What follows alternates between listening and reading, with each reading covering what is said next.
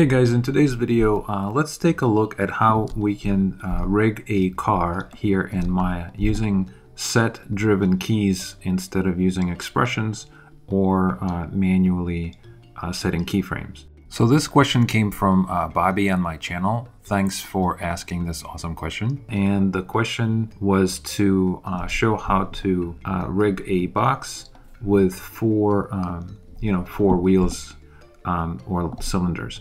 But I think it would be a lot more interesting if we just grab the free model and use that instead of a box, right? So let's go ahead and uh, download uh, a free car model.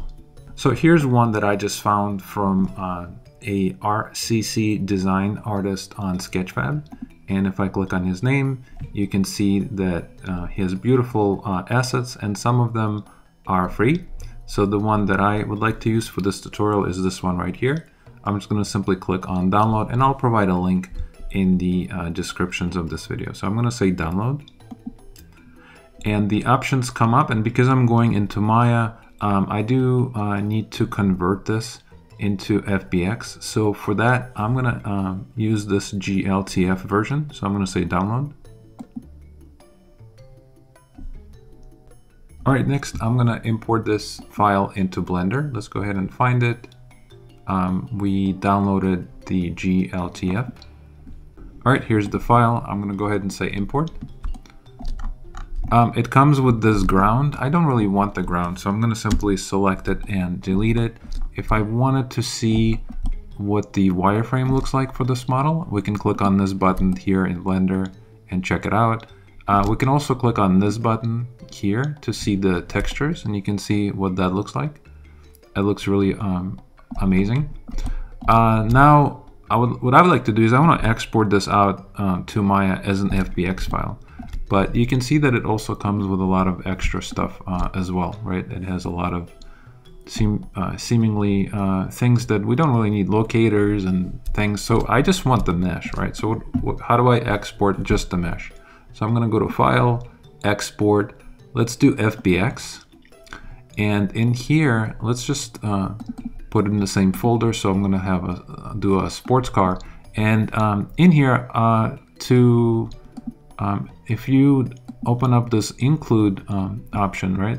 I just want the mesh. I don't want the armature. I don't want the cameras and all this other stuff. I just want the mesh for this car.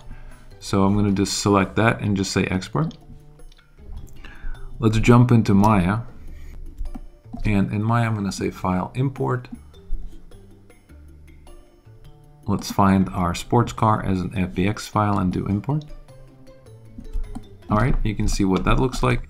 So I, I would like to uh, scale this down. So I'm going to select um, everything, press Control G, and uh, I'm going to go, go to scale, and let's just simply scale this car down to be something a little more uh, in line with our measurements here in Maya, right? Very cool. Let's make sure it's on the ground. If I go to the side view, I believe it is. Very nice. And uh, let's see, we can also turn on our textures, which should kick in by uh, default. Uh, that's looking pretty good. We uh, can leave the default lights, or if we wanted to, just for uh, fun, we could drop some lights in here using, um, if you want to drop like a directional light. I'm just going to scale this up. Uh, very nice. Let's position it into something appealing and let's turn the lights on so we can see what we're doing.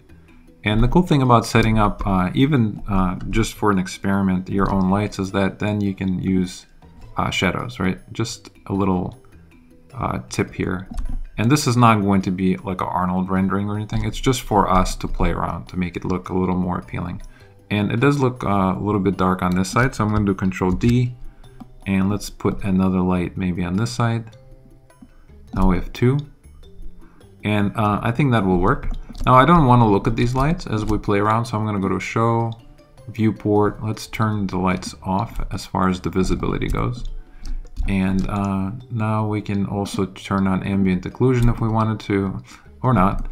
And just for fun, uh, if we wanted to right click on this window, let's go to Material Attributes.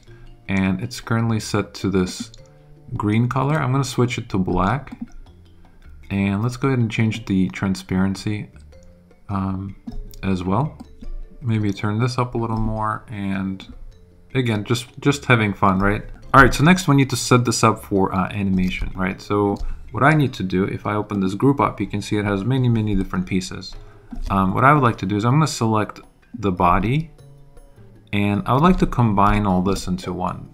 So to help me, I'm to uh, go to layers and what I could do is I can add this to a layer. And what I could do is I can continue selecting all these floating pieces and just right click and let's do add selected objects to the same layer. And now we know that this layer contains the entire car, right? And the wheels are sorted by themselves, which is cool because if we uh, select the wheels, uh, we can press H to hide them. We can unhide the car now we can select the entire body of the car and just combine everything into one mesh and clear history. And now we know that this is going to be, I'm going to call this body, right? That's going to be my body of the car. Very nice. Let's go ahead and um, unhide everything. And if you don't have that button, that's going to be under display, uh, show all, right? That's going to unhide everything. Or of course you can just select them here and just press H, which is even uh, easier. All right, so now um, I'm gonna hide my uh, body and I wanna do the same thing with the wheels. I wanna make sure that each wheel is its own kind of a mesh, right? So I'm gonna select all of this. I'm gonna combine it into one, clear my history and center my pivot. And let's do the same thing for each, right? Combine, clear history, center pivot.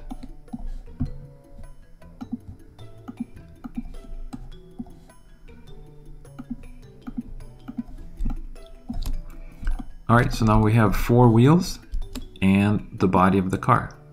Very cool. If we wanted to, let's go ahead and also maybe name these. This is going to be front uh, left.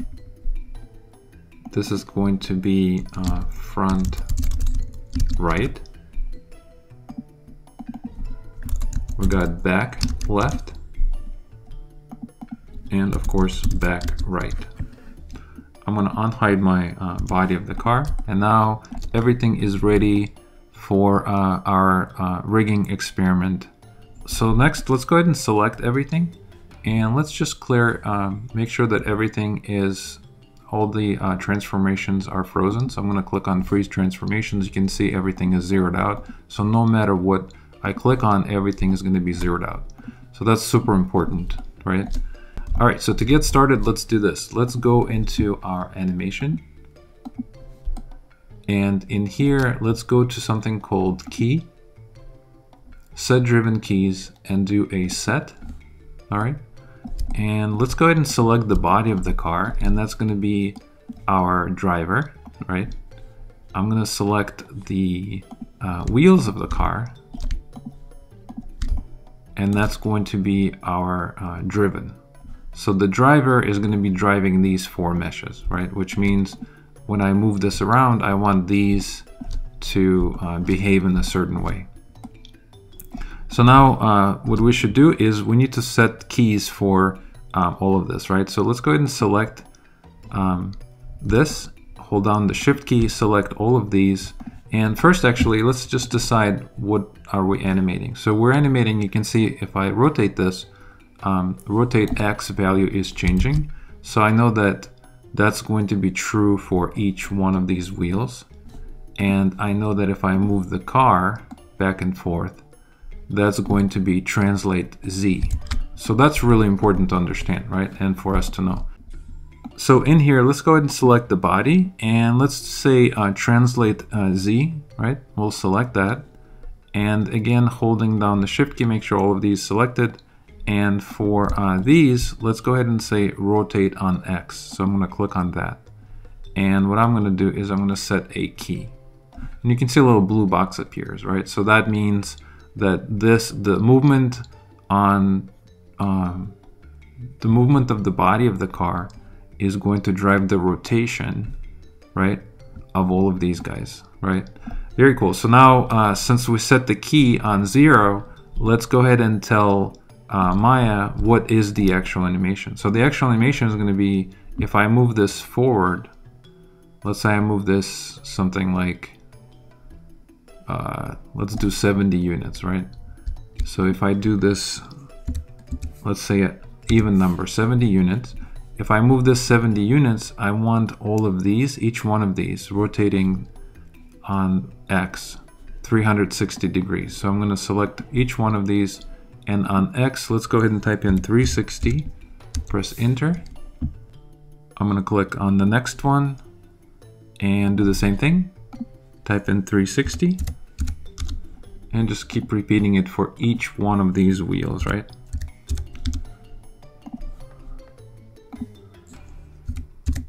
Press enter. All right, so let's just double check. If I click on each wheel, I can see that 360 is in there, right? And uh, now I'm gonna set a key.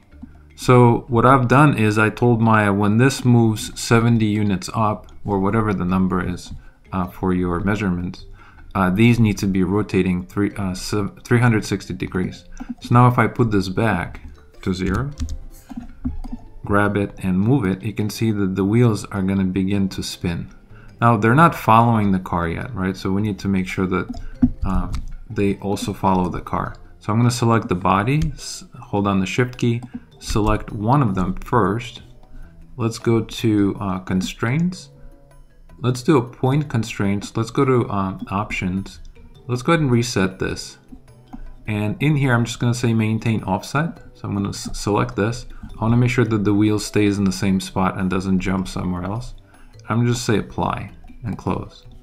So now if I move this, if I press W, if I, if I try to move this, you can see that the wheel is rotating with the car, right? Very cool. So now we need to do the same constraint for the, for the rest of them. I'm to select the body, the car, press G to repeat my last command.